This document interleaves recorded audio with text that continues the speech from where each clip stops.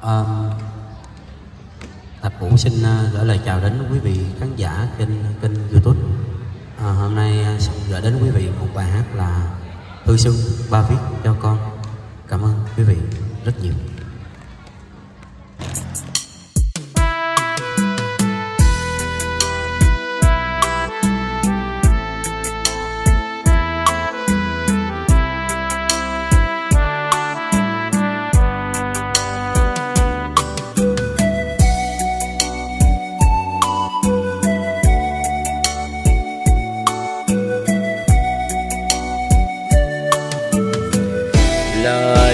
Đầu năm ba viết cho con.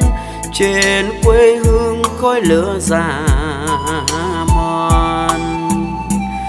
Bà vẫn miệt mài thân chinh chiến, đâu biết rằng con chẳng được vui. Ngày đầu xuân sẽ vắng tiếng cười. Lời đầu năm tha thiết bao la cho con yêu để gọi là quà.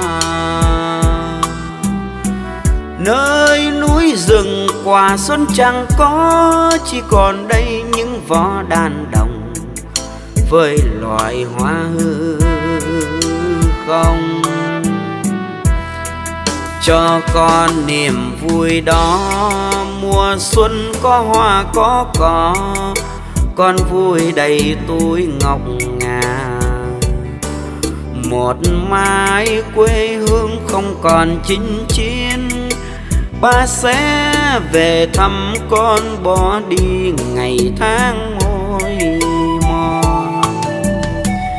Lời đầu năm theo bướm theo hoa, cho con vui để gọi là quà ba chỉ còn niềm tin sau cuối con hay chăm chỉ học nên người nơi miền xa ba vui.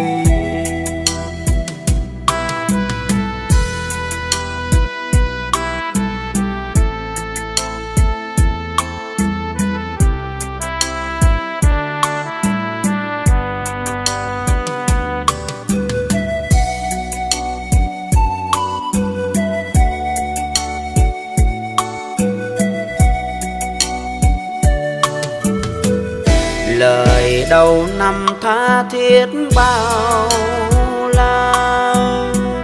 Cho con yêu để gọi là quà. Nơi núi rừng quả xuân chẳng có, chỉ còn đây những vó đàn đồng với loài hoa hư không cho con niềm vui đó. Mùa xuân có hoa, có cỏ, con vui đầy túi ngọc ngà. Một mai quê hương không còn chinh chiến, ba sẽ về thăm con bỏ đi ngày tháng môi mòn. Lời đầu năm theo bướm theo hoa cho con vui để gọi là quà. Ba chỉ còn niềm tin sau cuối, con hay chăm chỉ học nên người nơi miền xa ba vui. Ba chỉ còn niềm tin sau cuối, con hay chăm chỉ học nên người nơi miền xa ba.